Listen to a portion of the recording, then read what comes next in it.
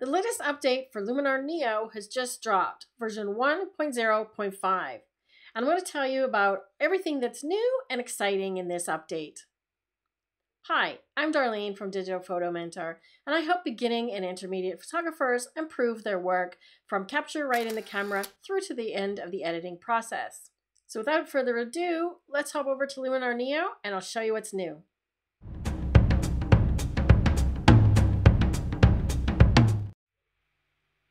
Get started, first you need to update your Luminar Neo. If you're on a Mac, just click on the Luminar Neo logo in the upper left corner and then check for updates. If you're on Windows, you just have an extra step.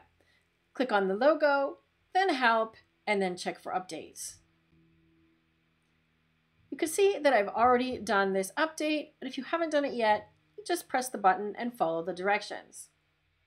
If for some reason that isn't working, just log in to your account on skylum.com and go to My Software, and you'll see the download for version 1.0.5 right there. With this version, there is one major program update, and that is to the presets. I'll tell you about that, as well as a few other smaller upgrades as well. Previously, presets were located over here on the right-hand side next to the Edits module. Now you'll find the link to get to the presets at the top next to Catalog. You can also press T on the keyboard to jump there immediately with a keyboard shortcut. If you would like to download my free Luminar Neo Keyboard Shortcuts PDF, that's a mouthful to say, just click the link in the description below the video.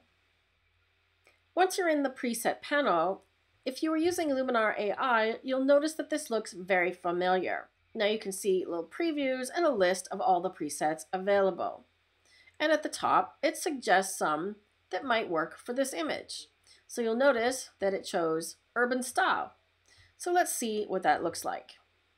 So I can just go ahead and pick one of these presets. I chose Toronto.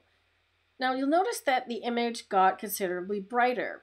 That's because in my previous edit on this image, it was a little bit overexposed and I did a lot to darken it. But now the preset has overwritten all my other edits.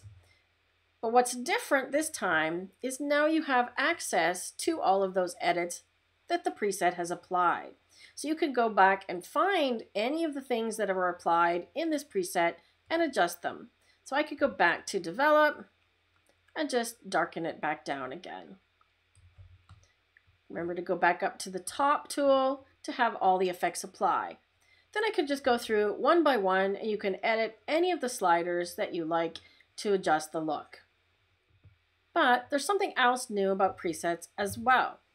This was a pet peeve for a lot of people in that when you applied a preset in Luminar Neo previously, you were stuck. You couldn't even undo it. Now they've introduced undo just for presets though. So don't get too excited. It's not undo for all your edits. It will just undo back to the previous version before the presets. So undo does my one step that I did with the develop and then undo again takes me back to before I applied that preset. So to me, that is a big plus and an improvement over the previous versions. But let's say I like the edits that I did on this image you also have another new option, and that is to be able to save as your own new preset. Down at the bottom here under Actions, and you'll see that whether you're in the Edit panel or in the Preset panel, just click this little up arrow to save it as a preset. Give it a name. I'm going to call it Havana because that's where this one was taken. Now I can apply that to any other picture. Here's another image that I shot in Havana. So I'm going to apply my preset just by clicking it. So again, the benefit of undo is if you don't like the preset that you just applied, previously all you could do is turn that preset off, but all your other edits were lost.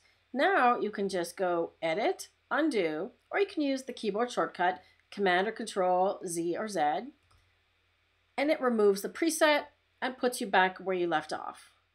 Likewise, you can also save presets to favorites. So if we like one in this urban style, we can just click the heart and save it to favorites and it shows up in here. One other thing worth mentioning is that you could also revert or hit this little back arrow on a preset and it will take you directly back to the state your image was in prior to applying the preset.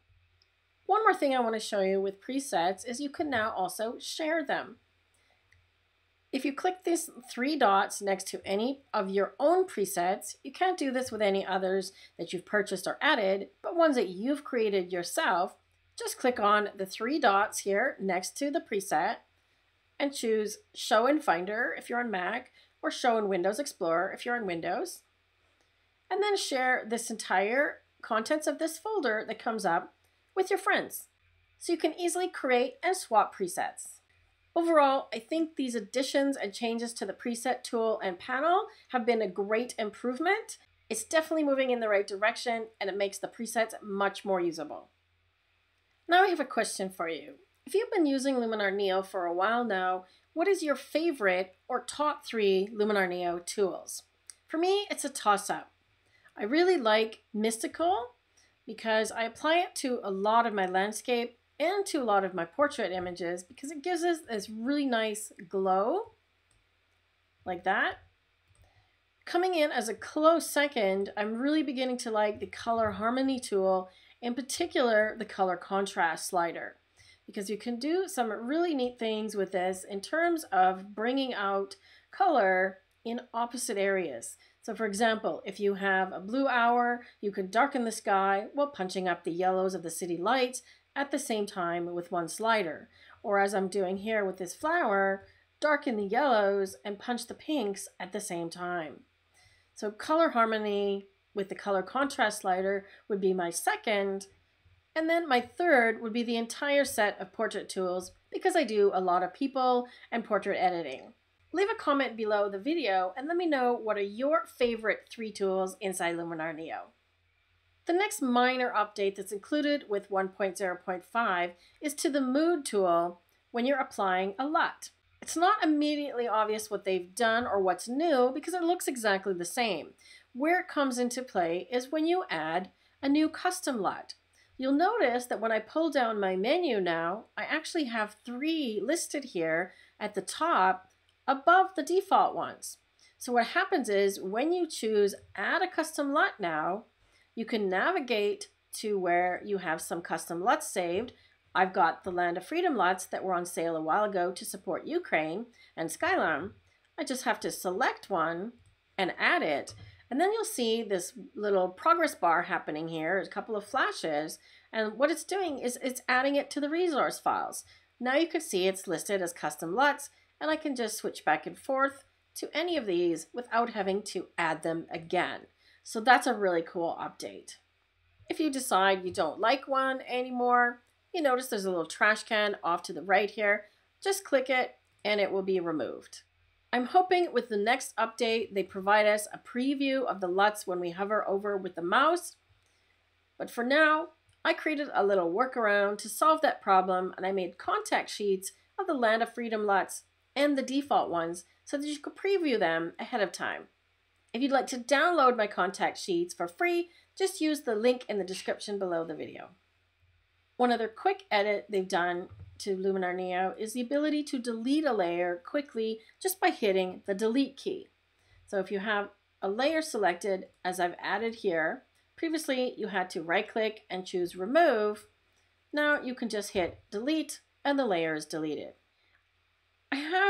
Mixed feelings on that because it might be too easy to do it by accident, but we'll see how it goes. It certainly speeds up your workflow. But do be careful if you've added a layer and done a lot of work that you don't hit delete by accident. If you need help learning how to use the software, I have just the thing for you. Luminar Neo, the complete course. There's over 29 lessons and Q&As to help you out. Watch this video now if you want to know how to make the custom contact sheet for your LUTs. If you enjoyed this video, please give it a thumbs up and subscribe to the channel.